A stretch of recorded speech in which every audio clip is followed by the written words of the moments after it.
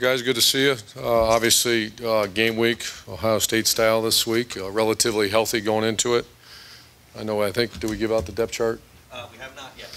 We, uh, we'll discuss our depth chart, even though it's still a little chance for change because you still have three days. It's a plus one day after a bye week or first game of the season.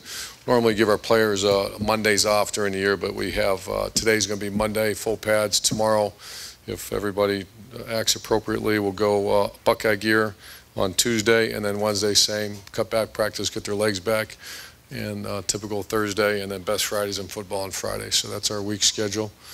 Um, we're going to uh, have our captain vote tonight at 2:10, and then I'll uh, let you guys know where, where that ends up.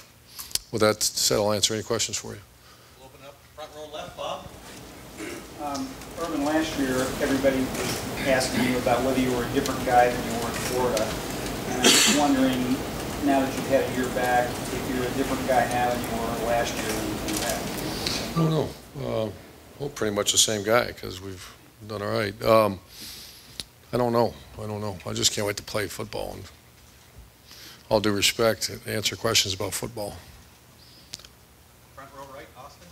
Urban, I think the last time you talked to us, it was four or five units that had your attention. Did you get those, are you more comfortable with those now, or do you still need to see a game to truly? No, much more comfortable. The area that we're still trying to solidify is linebacker. Um, Just because there's some young guys in, in, uh, in the depth, and then also Curtis Grant hasn't really played a whole lot of Mike linebacker. He's catching up quick. He missed a lot of practices because he got injured uh, during training camp.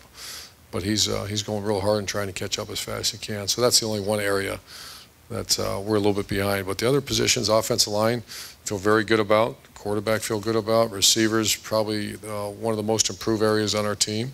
Running back feel very good about. So I'm just kind of going through. Kickers, I'm interested to see how our kicker, uh, our punter reacts. That's one unit that uh, remains to be determined. And then uh, defense, defensive line, they're young, but they're really, Coach Vrabel has done a really nice job with them. Um, secondary, I think uh, I'd like to see how Armani reacts to getting his first college start. My safeties are pretty, you know, veteran group. Three, uh, three older players. Tyvis Powell's getting his first college start. So there are some units, but the linebackers are the one area that's the most concerning. You had to go through at least some stretch where Linsley was banged up, I think Norwell was out for a little while. Did they get enough time together in camp? Yeah, uh, mm, that's a good question. Not enough time, but their veteran group played played all 12 games together last year. So uh, Linsley, um, the good thing that gave us is a chance to get Pat Elflein and Jacoby Boren in there, and, and they'll they'll play Saturday. Both those kids have earned that right to play, so they'll both play Saturday. Right in the middle, Dave.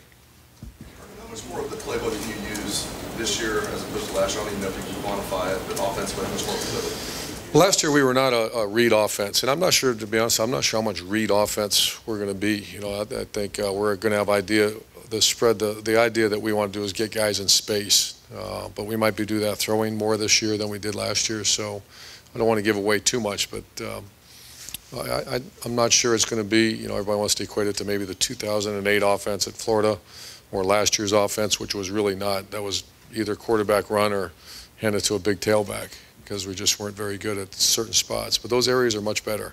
So I'm hoping that we can spread the field however we're going to do it. And it might not be that, you know, read option part of it. It might be some other ways. Very back, Jared. Hey, Coach, uh, just curious about the freshmen in particular, without looking at a two-deep, Which freshmen do you know today will be on the field set, who have earned that right to play? Well, for sure, Dontre Wilson and Ezekiel Elliott will play. Uh, on defense, I, I would imagine um, Joey Bosa for sure will play. Mike Hill, we're hoping to get in there. And the freshman punter. I think that's that. Those are the ones for sure. Then the other ones depend depend how they practice and uh, get going. Middle left, Dave.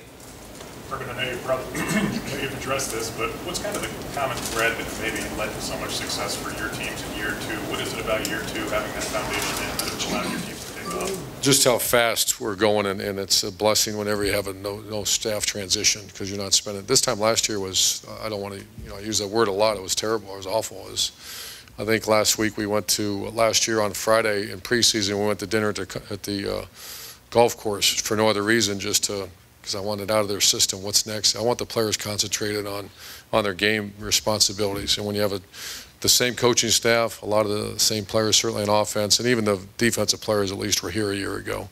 So usually, and it's not just art, you- you- te- teams tend to have a much better year their second year if you have the players.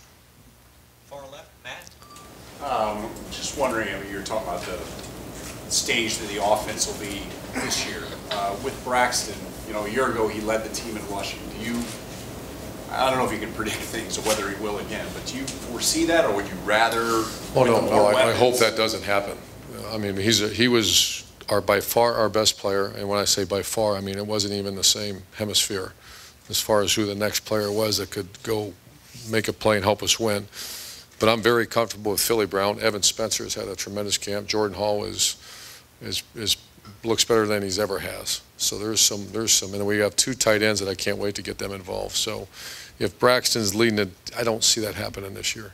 If it does, that means we're, something's not going well. Front row, Bill. Herbert, when you think ahead to Saturday, what are the big questions that you have? What is, what are you most eager to see? Well, the game, the, the reaction by Ezekiel and Dontre Wilson in the stadium, you know, they weren't here in spring practice. The kids that came early, at least they had a chance to play in front of a, you know, big crowd for the spring game.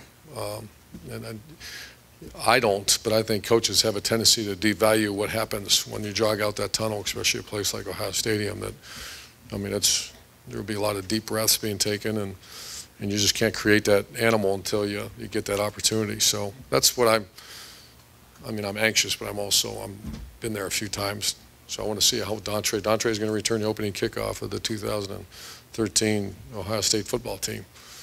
Um, The thing I like about Dontre is he, he doesn't seem phased, but he's not done that yet. So if you see me jog someone else out there, you know we're having a little hyperventilating issue, uh, Front row left, Lori. which I've seen before. As much as you guys have learned Isn't that beautiful about young players? I'm sorry.